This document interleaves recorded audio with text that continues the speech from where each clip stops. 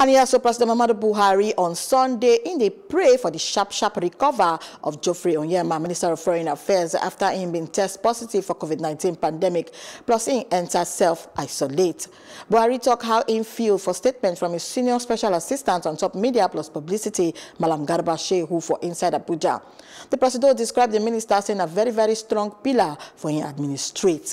And in conclave hand for him as in they work tirelessly to take stop the spread for coronavirus for the country as him be member for the presidential task force for COVID-19.